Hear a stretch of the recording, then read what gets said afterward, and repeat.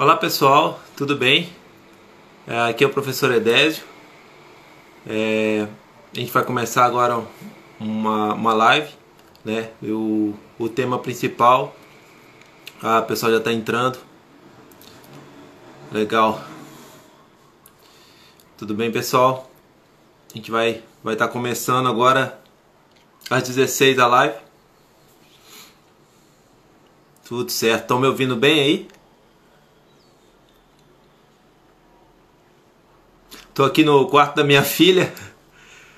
Essa, essa, nessa época de quarentena a gente. A gente tem que improvisar, né?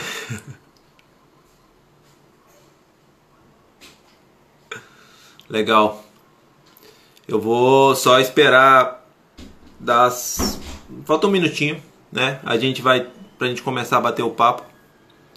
Acho que vai ser legal, vai ser um, um papo bem descontraído. A gente vai tentar fazer de uma forma mais descontraída possível, né? E espero que vocês vocês gostem. Aproveitem aí. Certo?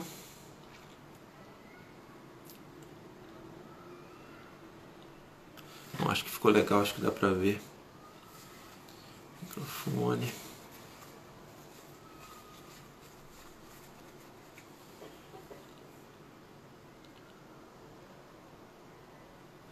Legal.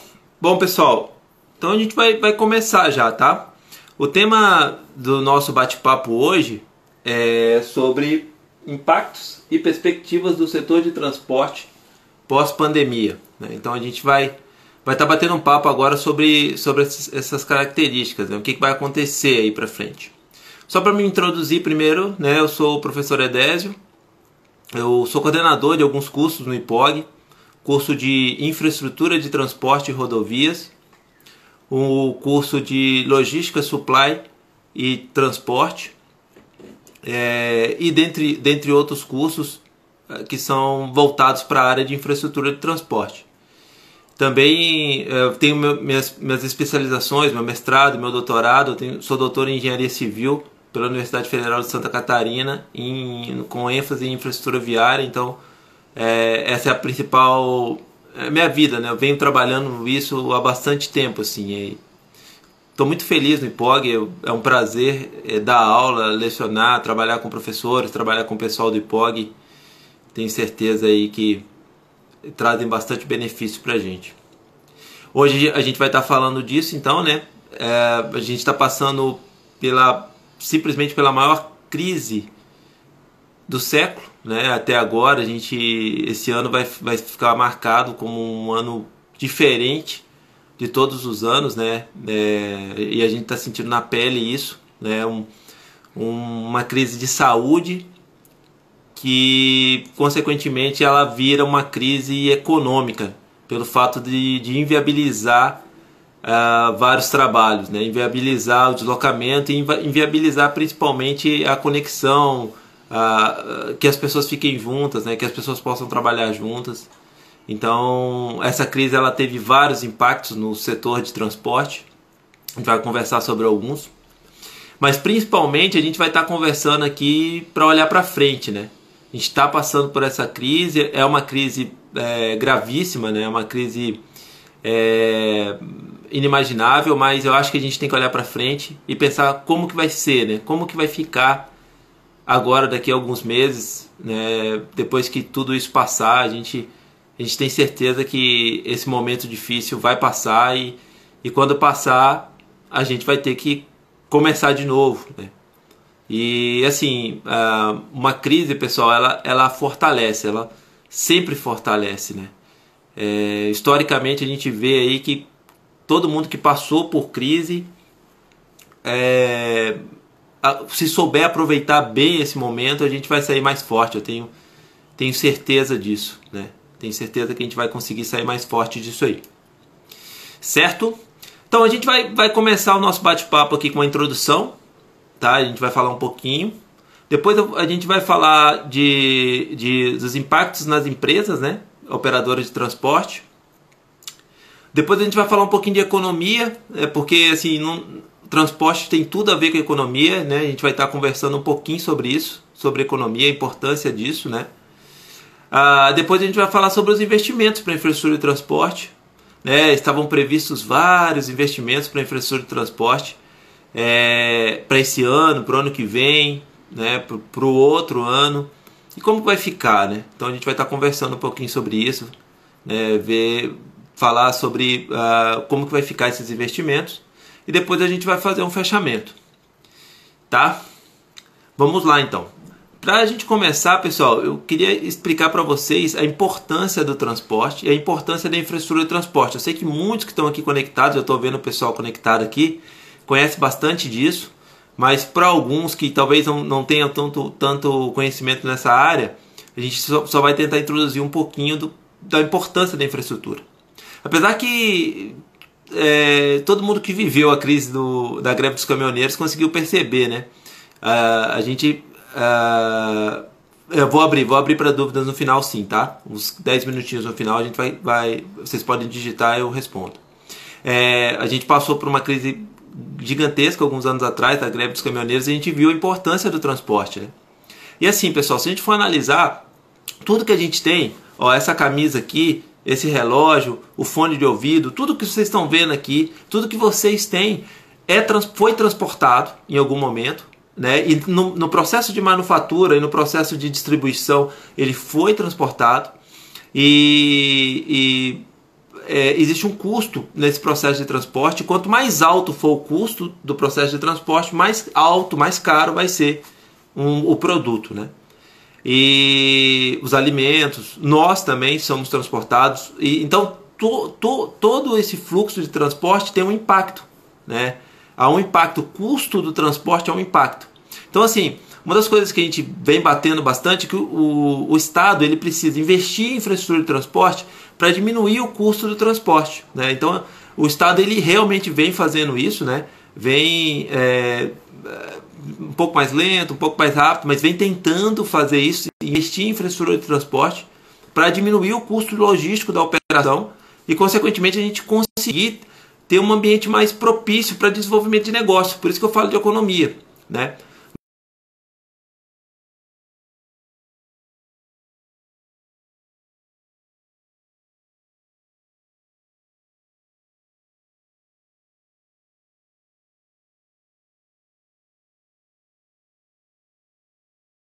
Outra, nessa conexão, né, importância de, da, da infraestrutura de transporte, a importância do custo logístico no processo de operação, não só no Brasil, mas no mundo. Né? Uh, os principais modais de transporte que existem são uh, o transporte rodoviário, principal modal brasileiro, né? transporte ferroviário, transporte aquaviário, portos e transporte aeroviário, aeroportos e a gente tem algum movimento também de carga em transporte dutoviário. Esses são os principais modais. Né?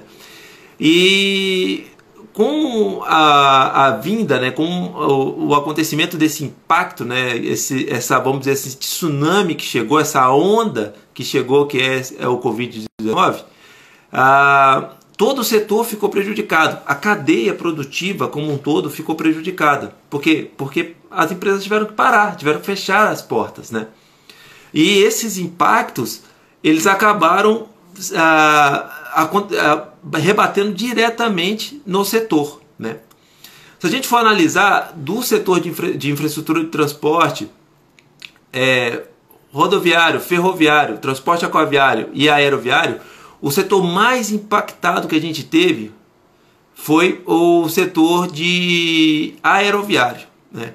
Então, assim, a, realmente o setor aeroviário ele praticamente parou agora com essa, essa crise, né? E aí, quando a gente for falar de economia daqui a pouco, a gente vai estar falando de algumas ações que o governo já está fazendo, essas sinalizações são importantes para, por exemplo, não deixar com que uma empresa aérea quebre, né? Por, por exemplo, a Azul. A Azul é uma das empresas aéreas. Se a Azul quebrar, após a pandemia, a gente vai ter um, um, um outro problema para resolver. Né? É, então, assim, de, de todos os, os, os, modais, o setor aéreo foi o maior prejudicado. Né? E saindo do setor aéreo, passando para o setor, para rodovias, para modais rodoviários, esse foi o segundo maior prejudicado. Né? O, o modal rodoviário, pessoal, ele sofreu muito, muito, muito mesmo. Principalmente as pequenas empresas. Né? As pequenas empresas, as empresas de menor uh, custo, né? as empresas que muitas vezes são dois, três caminhões, né? essas estão sofrendo bastante. Tá? as empresas de médio, grande porte, elas têm mais fôlego, elas têm mais capital, elas conseguem reagir um pouco mais. E no modal, no modal rodoviário, o setor de transporte, principalmente o modal rodoviário, que teoricamente poderia ser o mais impactado, ele tem uma vantagem que ninguém parou de comer. Né? É, a gente não parou de comprar, o e-commerce ainda está funcionando. Então, assim, boa parte do setor ainda está em movimento mesmo que sofrendo, né? mesmo que sofrendo uma redução, é, boa parte do setor ainda está em movimento. As empresas que tinham regras de negócio que não vinculadas a produtos essenciais, essas estão sofrendo mais, né? porque todo mundo simplesmente parou de comprar. As empresas que tinham de transporte rodoviário, que tinham regras de negócio mais voltadas para os setores essenciais, alimento, no caso produtos hospitalares, essas estão sofrendo menos. Muitas estão até ganhando dinheiro, mais dinheiro do que ganhava. Né? É, a gente vê o paradigma, né? numa crise, muitos acabam se dando bem. Né? Então, é, o, há, um, há um, uma perspectiva de queda no transporte como um todo né, nesse, nesse período. A CNT ela fez uma pesquisa bem interessante, pessoal. É, depois eu vou ver se eu posto o link para vocês.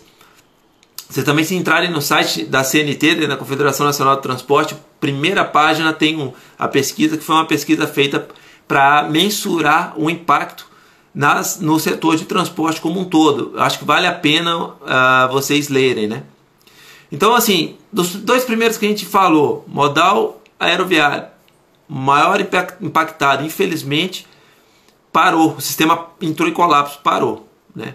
está é, funcionando só coisas essenciais. O modo rodoviário, segundo maior impactado, mas tem uma vantagem: produtos essenciais. É, a gente não parou de comprar, e-commerce funcionando, né? então ele parou, sofreu um impacto, mas não um impacto tão grande.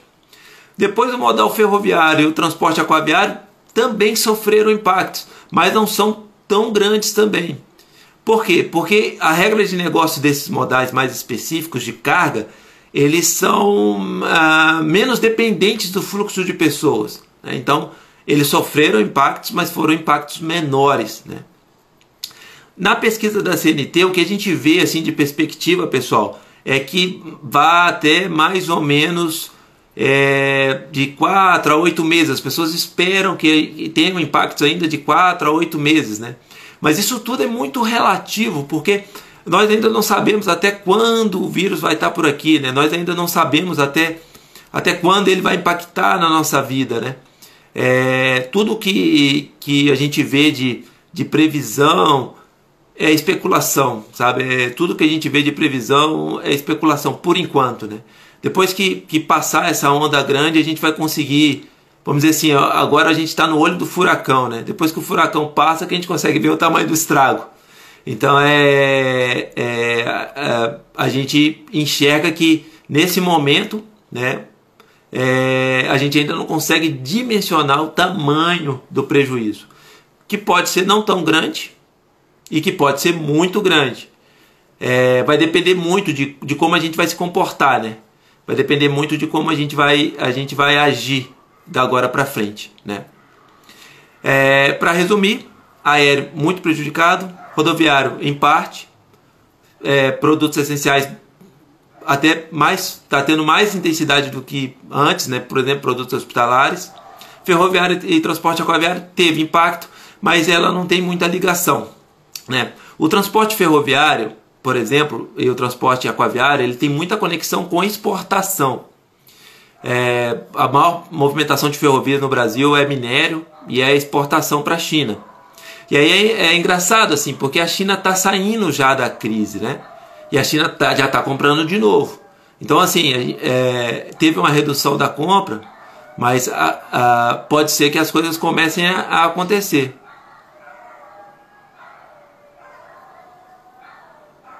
Eu estou vendo que o pessoal está escrevendo aqui. Mas, é, então, assim, o transporte ferroviário, o transporte aquaviário está sofrendo impacto, mas não é tão, tão relevante, tá? Ah, para falar um pouquinho antes dos investimentos, eu queria falar um pouquinho para vocês da, de economia, né? E aí a gente para para pensar assim, pessoal. Vejam bem, eu sei que está todo mundo muito nervoso agora, né? Ah, poxa, a vida está tudo parado, eu fico nervoso.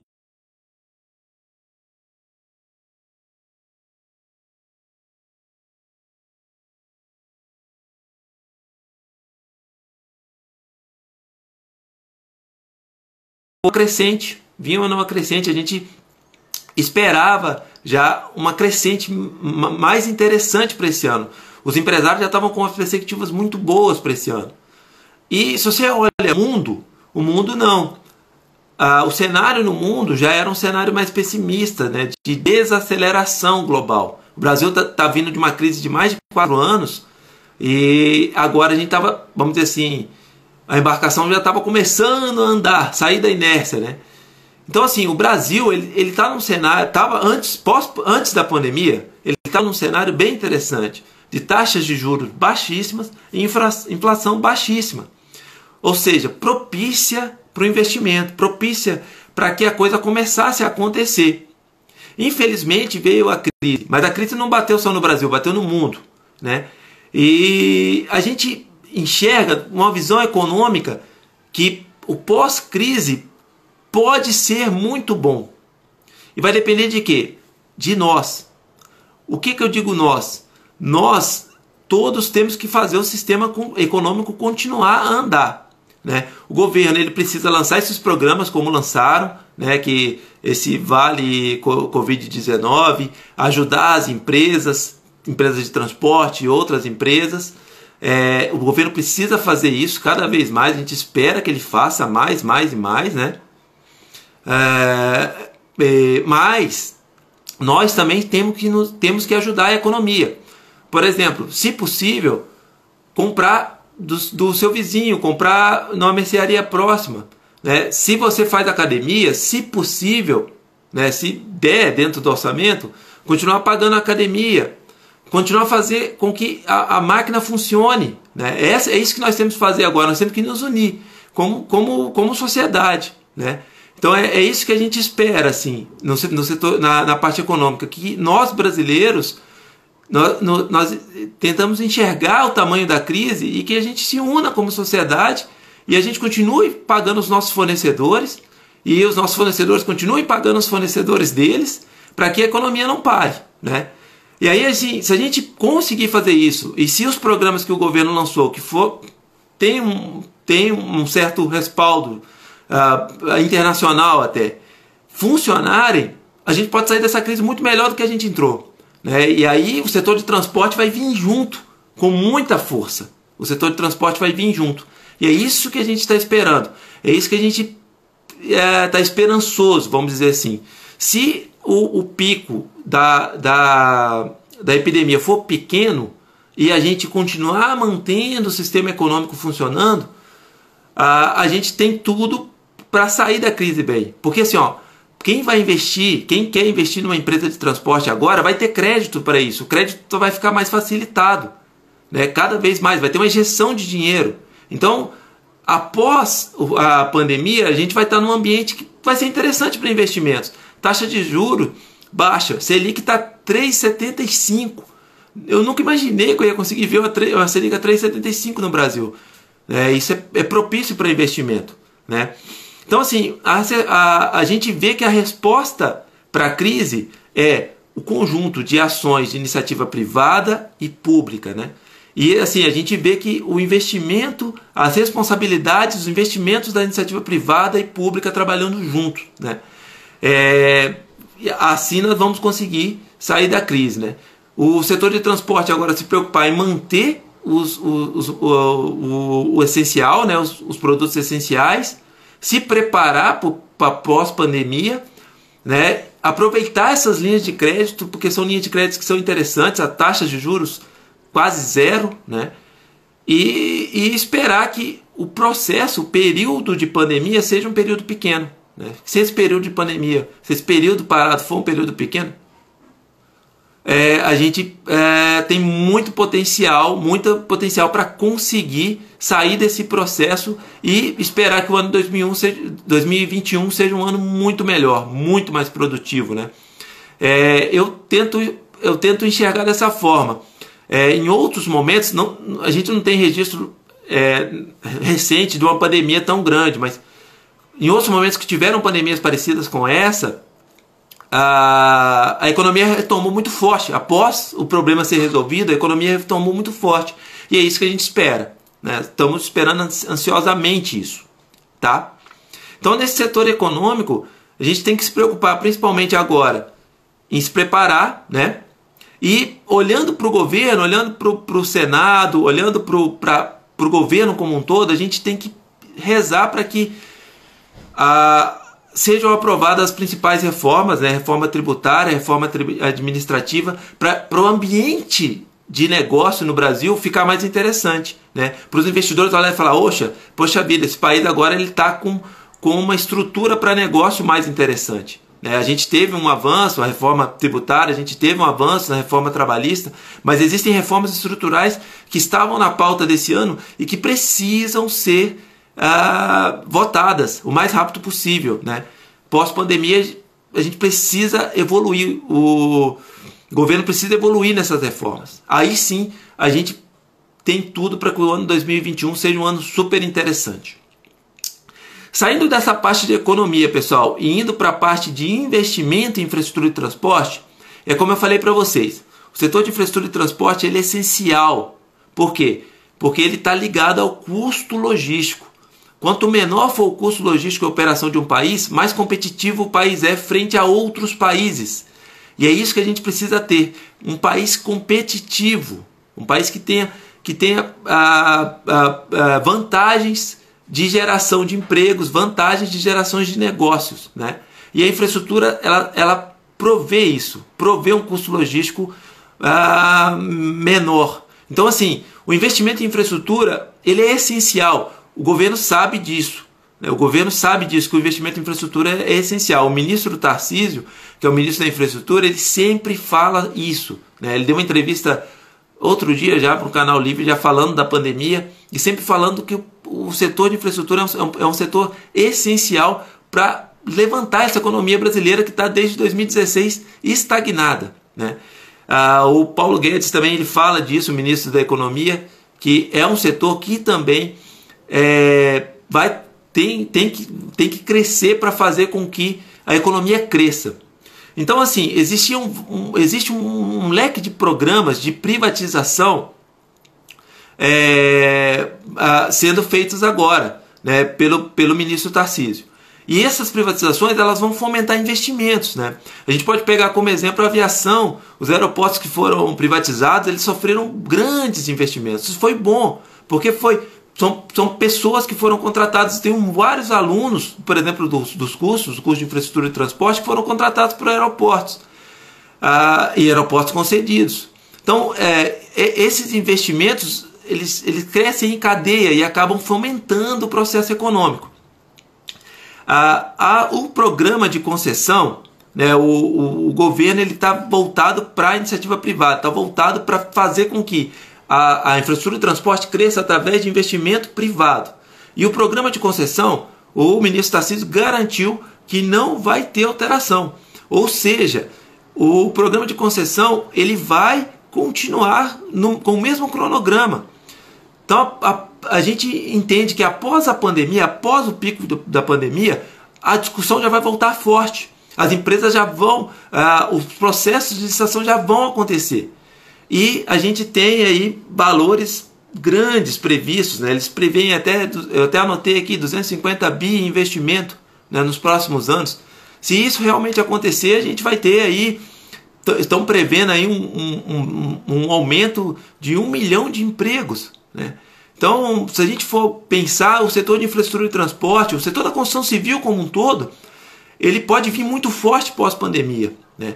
Porque a gente tem taxa Selic baixa, a gente vai ter muito crédito na praça, né? pessoas com, com crédito compram mais, né? tendem a comprar mais, e um valor de, de, de juros baixo facilita o acesso ao, ao, ao dinheiro.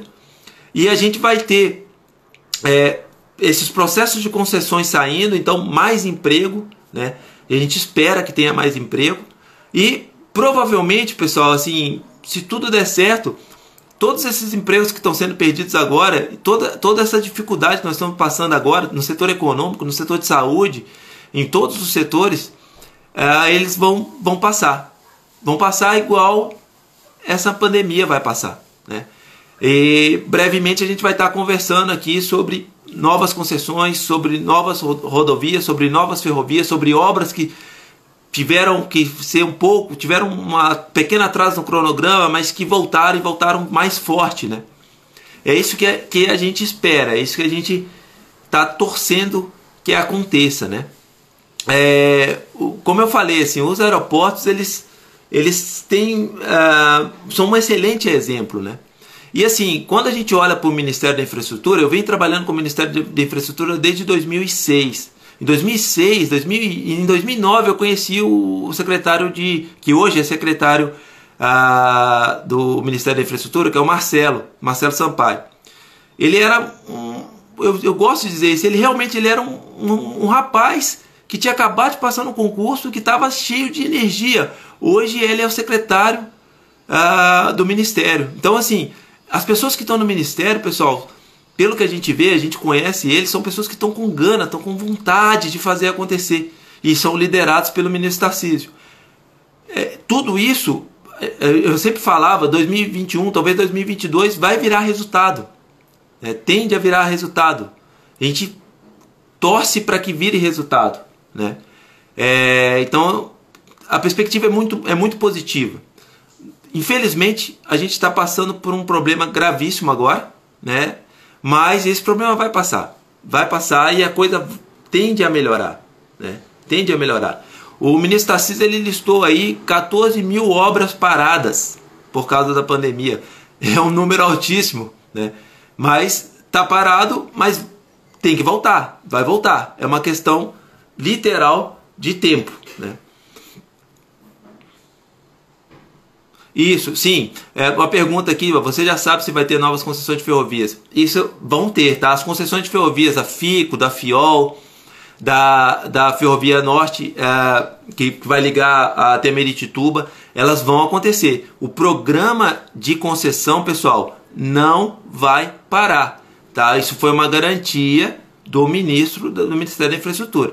Os programas de concessão vão continuar. O que pode acontecer é o seguinte: infelizmente o sistema aéreo está parado, né? Então, por exemplo, um investidor uh, da Europa ele não consegue vir aqui para ver um, uma, uma possível uh, concessão que ele, que ele vai entrar com dinheiro. Então, não, eles não conseguem analisar os processos de concessão, porque o sistema está parado. Mas uh, após o sistema parar, após o sistema retomar, as, as, concessões já vão voltar novamente. Né? É, eles apontam que é prioridade, o ministro já descreve que é prioridade para ele esse processo de concessão.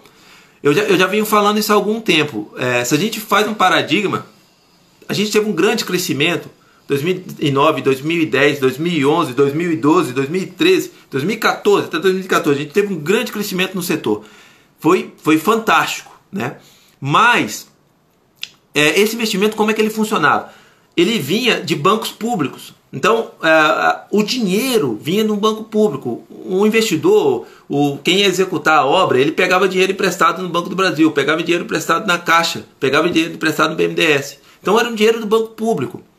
Então, se você for analisar, no final era investimento público. Só que ele era um investimento público gerenciado pela iniciativa privada. A ideia desse governo, do Ministério da Infraestrutura, é na medida do possível, tudo que tiver volume, que tiver demanda, demanda é, para ser é, concedido, ser concedido, ser passado para iniciativa privada. E aí o, o valor, é, é, dinheiro público vai ser pouco, o dinheiro vai vir de fora, dinheiro privado. Se vocês forem analisar, todos os aeroportos do último modelo de concessão foram empresas estrangeiras que pegaram. Então é dólar que está entrando no Brasil.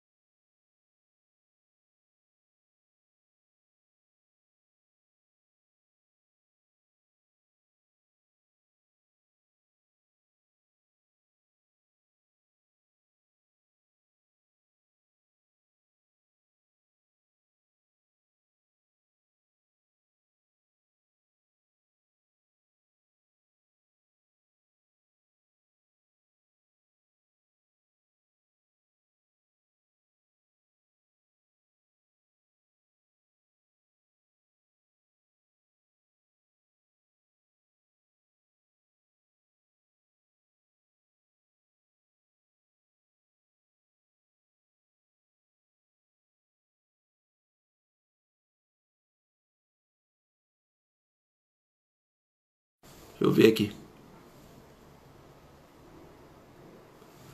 Estão me ouvindo? A internet aqui tá ok. É, tá todo mundo me ouvindo? Pode alguém ver se estão me ouvindo? Ou travou mesmo?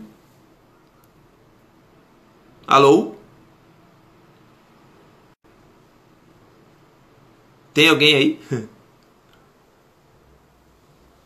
Será que. Tá ouvindo? Ah, beleza. Legal. Bom, pessoal, é... Estão todo... Tão me ouvindo? Então? Pode alguém pelo menos me dar um oi aí, ver se tá ok? Legal. É... Bom, pessoal, então voltando aqui, a gente estava falando da demanda, tá? É... Beleza, obrigado. A demanda é extremamente importante, extremamente, extremamente importante, porque é, em função da demanda é que vai trazer, vai realmente mostrar que tem investimento, vai realmente mostrar que, que a, a coisa está acontecendo, né? É, como eu estava falando para vocês, estudos embasados estão sendo feitos para essa concessão. E aí é, é, bem legal você ver que o ministro está sendo até pessimista na, na, nas demandas, para que realmente a gente consiga que o investimento aconteça. Nos estudos que eu faço, por exemplo, eu tento ser sempre pessimista, sempre pessimista na demanda. Porque se a gente é otimista, pode acontecer o que aconteceu com o aeroporto de Viracopos, né? A gente espera uma demanda, essa demanda não acontece e, consequentemente, depois o, o investidor acaba perdendo, perdendo bastante isso, né? Bom, é... deixa eu ver aqui que mais que a gente pode estar tá falando.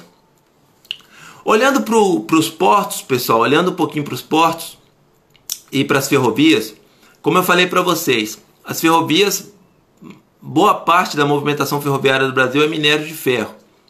Mais de 90% do minério de ferro vai para a China, nosso maior cliente. A China parou janeiro, fevereiro, né? E, e o fato dela ter parado esse período fez com que a, a movimentação de minério diminuísse. Né? Mas a China já está retomando. Né?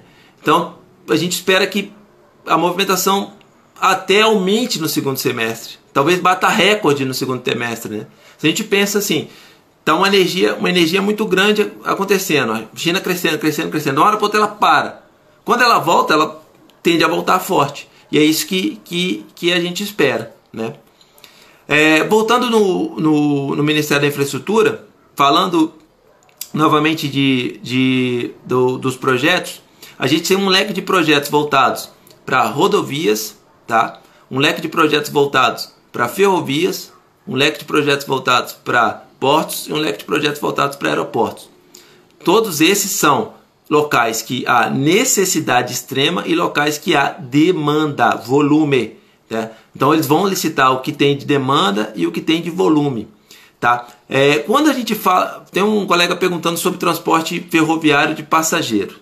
Quando a gente fala em transporte ferroviário de passageiro, pessoal, é, infelizmente o transporte ferroviário de passageiro é um transporte muito caro. Né? O Brasil ele precisa de transporte ferroviário de passageiro, só que não é prioridade. Hoje a gente a visão assim é que a gente tenha mais transporte ferroviário de carga, né? A gente quer transporte ferroviário de passageiro, só que nós precisamos muito mais hoje de transporte ferroviário de carga, que ele vai reduzir o custo logístico, como eu falei no início, reduzir o custo logístico do transporte. Redução do custo logístico do transporte, mais investimento. Redução do custo de logístico de transporte, mais crescimento. Então o investimento em infraestrutura ele volta fácil, volta rápido. É mais ou menos como você investir na sua casa. Né? Se você está gastando muito na sua casa e investe para fazer para dar uma mudança na sua casa, aquele investimento vai virar economia depois. É a mesma é o mesmo problema. Então, assim, hoje a prioridade, né, como o Silvio está falando aí, ó, hoje a prioridade é carga. Né? A gente, a gente, quando olha para o transporte ferroviário, é carga. E o governo sabe disso, e o governo está investindo, vai investir em concessões pesadas para isso. A ferrovia FICO, a ferrovia FIOL, né? a ferrovia do grão, ferrogrão. Então são ferrovias que vão acontecer. Né, o modelo ferroviário, pessoal, é mais ou menos como uma espinha de peixe. A Norte-Sul é a coluna vertebral do modelo ferroviário, e aí a gente tem ferrovias no sentido leste-oeste para levar, pro, carrega, tirar produtos do centro do Brasil, Mato Grosso, no, no centro-oeste do Brasil, e levar para os portos. Né? Tirar produtos das áreas produtivas do Brasil no, no, né, e levar para os portos. É, dos setores, aí vou indo para o transporte, pro transporte, mas olhando para o setor, pro setor de agro, né? Dos, os setores no Brasil que vai ter o menor impacto vai ser o agro, o agronegócio a previsão, né? Porque, novamente, as pessoas não deixam de comer, não param de comer. Né? É, então, o setor do agronegócio vai sofrer impacto, mas vai sofrer, tende a sofrer menos impacto. E aí as ferrovias elas têm um papel essencial para o setor de agronegócio. A Transnordestina está dentro do pacote também.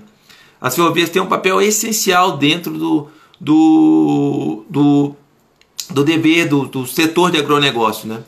porque elas vão reduzir o custo de operação. Hoje a gente gasta muito, né? E aí a gente olhando para o custo logístico, pessoal, se você for analisar, o Brasil ele tem uma vocação de produtos de baixo valor agregado: soja, minério, grãos, madeira, produtos de baixo valor agregado. E quanto menor o valor agregado do produto, mais relevante o custo de transporte é.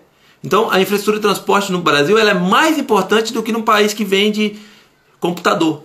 Porque uh, o, o custo do transporte do computador é, é baixo frente ao valor do computador, comparado com o custo do transporte da soja frente ao valor do, da tonelada da soja. Né? Então, é, isso, é, isso é relevante para nós. É, assim, a gente enxerga que a partir do momento que o Brasil saia, consiga sair. Uh, dessa carência de infraestrutura, que é enorme, o Brasil tem uma carência de infraestrutura enorme. Para quem trabalha com infraestrutura de transporte, é bom, porque isso é emprego. Mas para quem não trabalha, para quem depende, a infraestrutura no Brasil é muito carente. Se vocês forem analisar ó, rodovias, o nosso principal modal, o número de rodovias duplicadas que tem no Brasil é irrisório, comparado com países de primeiro mundo. Então é, é isso que a gente tem que pensar. Assim, ó, nós estamos uma folha em branco, temos muito a crescer e vamos crescer. A gente vai sair dessa crise assim, ó, dois toques. A, a questão é só se preparar. Como eu falei para vocês quando a gente estava falando de economia, nós temos que nos unir, ajudar os nossos vizinhos, ajudar os nossos fornecedores e os fornecedores dos nossos fornecedores ajudem os fornecedores deles. E a economia continua girando. E aí, investimento em transporte vai ser consequência. Vai ser consequência tá? Para a gente encerrar a parte da explanação aqui, eu queria mais deixar assim uma, uma mensagem para vocês, né? Dizer assim que, que tenham fé, né? Tenham fé no, na, nesse processo. É uma questão de tempo e pouco tempo. A gente já vai voltar de novo, né? Vai voltar e assim, eu tenho convicção, a gente vai voltar mais forte. Eu, te, eu gosto de falar com, com o pessoal quando eu vou dar aula. Vou, o Brasil vai ser país de primeiro mundo, tá? É só questão de tempo. É só questão de tempo. Talvez muito tempo, talvez pouco tempo, mas depende da gente, depende dos brasileiros de hoje. São os brasileiros de hoje, as ações que nós estamos fazendo hoje é que vão definir se o Brasil vai ser um país de primeiro mundo daqui a 100 anos, daqui a 50 anos, ou daqui a 30 anos, ou daqui a 20 anos. Mas nosso país tem muito, muito potencial. É, o nosso país tem, um, tem um, uma, uma matéria-prima fantástica, tem um povo criativo, tem muita água, tem muito potencial energético a gente tem tudo. O que falta mesmo é uma infraestrutura de qualidade e um ambiente propício para negócio, um ambiente propício para investimento. É isso que falta no país. E é isso que a gente tem que correr atrás. Nós temos que nos unir como pessoas, como sem partido, como um povo unido e temos que nos ajudar, ajudar o, seu, o colega do lado, ajudar os fornecedores, continuar pagando quem você é, compra, comprar mais, no mais próximo possível e esperar que quando a gente voltar, o gigante vai voltar a mil. Vai voltar a mil. Eu tenho certeza disso, pessoal. Tá certo? É, eu vou parar de falar aqui um pouquinho. Vou abrir para perguntas. Se alguém quiser perguntar alguma coisa, por favor, pergunte. Pode perguntar agora aí, que a gente tem aí uns 5 minutinhos para responder. Tá bom? Muito obrigado a todos tá, que estavam aqui. Contem com a gente para o que precisar né? E vamos trabalhar juntos no crescimento da economia. Taxa de juro baixa, ambiente propício para crescimento. É isso aí, Silvio. Sem partido. Certo, pessoal? Alguém quer perguntar alguma coisa? Por favor, é só escrever, fiquem à vontade.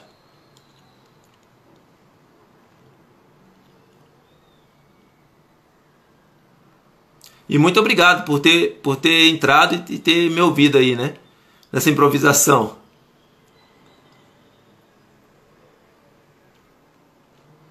Alguma pergunta aí? Alguma coisinha? Professor, aquele pacote de investimento na criação de aeroportos, ele ainda está previsto, certo? Sim. O pacote de investimento, pessoal, para aeroportos não só está previsto, como está acontecendo. O que, que acontece? É, o que, que o ministro sinalizou? Ele vai dar uma paradinha agora em função da pandemia, porque assim, os investidores de fora não tem como vir para cá para olhar, por exemplo. Vou conceder o aeroporto de Belém. Os investidores de fora não tem como vir para cá para olhar o aeroporto, para entrar, na, desculpe, para entrar na negociação. Então ele deu uma paradinha, mas assim a ideia é que provavelmente todos os aeroportos que têm volume vão ser concedidos. É, talvez não no cronograma que o governo tinha previsto, mas uns, com alguns meses de atraso, mas vão ser concedidos, tá? Como eu repito, todas as obras que estão previstas, todas as concessões, todo o programa de concessão vai continuar. Ele só deu uma paradinha, só deu uma paradinha para descansar, mas ele vai continuar. Acabou essa questão da pandemia, volta tudo em ação. Com certeza, nós temos que combater corrupção, concordo plenamente. Então, os aeroportos regionais, o que, que acontece, pessoal? A ideia do governo é que os aeroportos regionais, aeroportos de menor porte, eles fiquem mais com, com a, a, a Infraero. Tá? A Infraero, ela, ela foi por muito tempo a empresa que geria todos os aeroportos do Brasil. E agora ela recebeu uma nova missão, uma missão importantíssima, que é fazer com que aeroportos pequenos fiquem grandes. Então a Infraero ela vai cuidar dos aeroportos regionais e os aeroportos que têm demanda, iniciativa privada.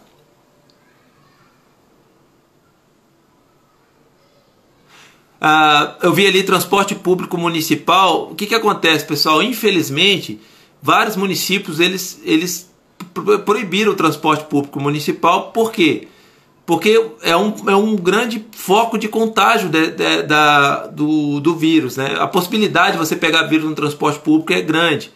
É, isso é uma, é uma parada, mas a partir do momento que a crise acabar, o transporte público já vai voltar.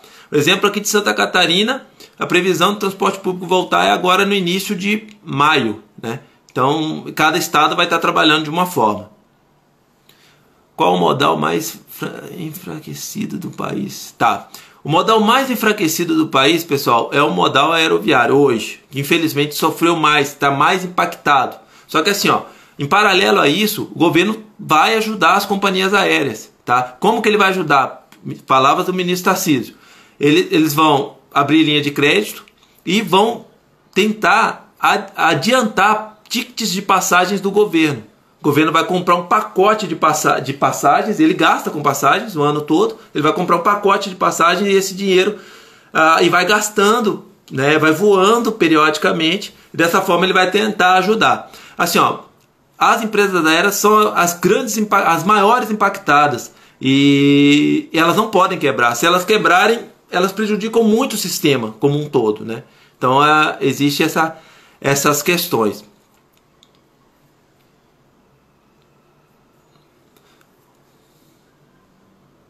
Tá. O modal ferroviário, pessoal, assim, ó, o modal ferroviário ele tende a aumentar cada vez mais, tá?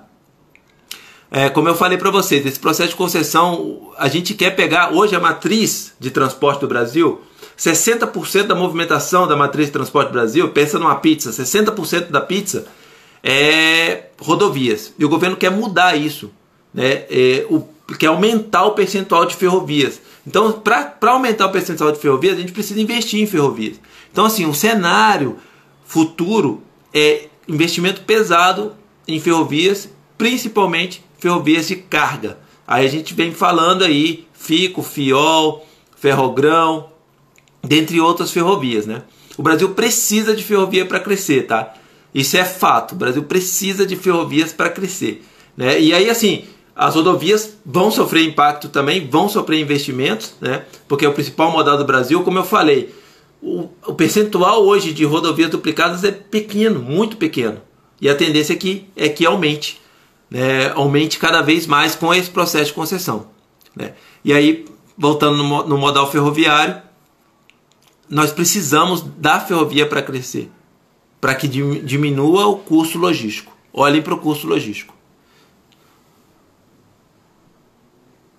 Então, perguntaram aqui sobre a, a qualidade profissional dos engenheiros. O que, que acontece, pessoal? Infelizmente, é, as faculdades de engenharia civil, por exemplo, elas não dão a qualificação na área, né? É uma, duas disciplinas só. Então, é, o, os engenheiros eles precisam se qualificar e se preparar. Porque, como eu falei para vocês, ou o Brasil investe em infraestrutura de transporte ou não cresce. Não tem como, não, não tem como crescer sem investir em infraestrutura de transporte porque nós somos uma folha em branco, o custo logístico é muito caro e a nossa vocação é de produto de baixo valor agregado. Tudo isso soma para que a gente tenha que investir em infraestrutura. E realmente, os engenheiros civis, a grande maioria, não está preparada para estar tá trabalhando com, com infraestrutura de transporte.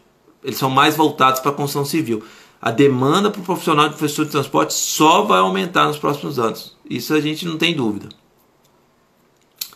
Beleza, pessoal? Uh, eu acho que é isso, né? Queria mais uma vez agradecer imensamente a presença de todos, desejar assim, uma excelente final de tarde para todos, né? É, eu estou aqui no quarto da minha filha, né? É, em quarentena também. A gente está sofrendo junto, né?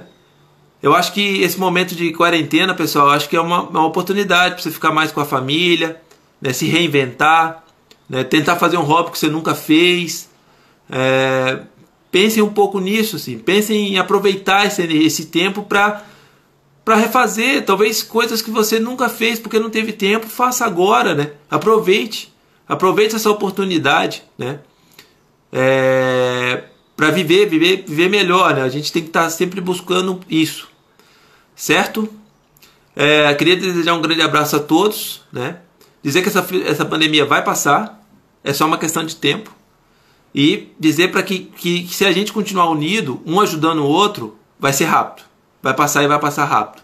E se possível, se você não, não, não, não tem que fazer uma ação uh, direta, não, tem que, não é obrigado a trabalhar, se possível, fique em casa. Não por você, mas por todos, né? A gente tem que pensar em cada um que está morrendo, em cada morte, né? As mortes elas viram números. Hoje elas são números, mas cada morte é uma família que está sofrendo. Né? Então, se a gente puder ficar em casa, quem não puder tem que trabalhar, vai com cuidado, usa álcool gel, usa máscara. Quem puder, fique em casa mais um pouquinho e daqui a pouco vai estar todo mundo na rua de novo. Grande abraço para vocês. Muito obrigado pela presença de todos. Tchau, tchau.